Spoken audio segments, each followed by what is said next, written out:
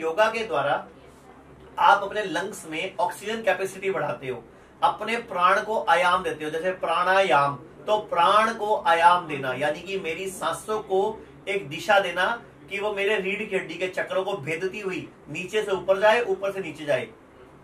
और लंग्स के द्वारा बॉडी को डिटॉक्स करते हैं हम तो योगा साइंटिफिक है और पूरे वर्ल्ड में ये योगा दिवस भी मनाया जा रहा है। अगर आयुर्वेद और योगा को जोड़ दिया जाए तो दुनिया की कोई ऐसी बीमारी नहीं है जिसका इलाज असंभव हो। सब बीमारियों का इलाज संभव है। किसी को भी अगर दुनिया में लगता है कोई ला इलाज बीमारी जिसका कोई इलाज नहीं है तो वो आयुर्वेद में हमसे संपर्क कर सकता है। हमारे आयुर्वेदिक डॉक्टर्स जो बीएमएस हैं, वो बीमारी की जड़ समझकर आपकी जड़ से चिकित्सा कराते हैं। तो मैं ये बोलना चाहूँगा पूरे विश्व को, पूरे देश के दर्शकों को, कि अपने इलाके के आयुर्वेदिक डॉक्टर को, योगाचार्य को अपना फैमिली डॉक्टर बना लो अपना दोस्त बना लो कभी बीमार पड़ोगे ही नहीं।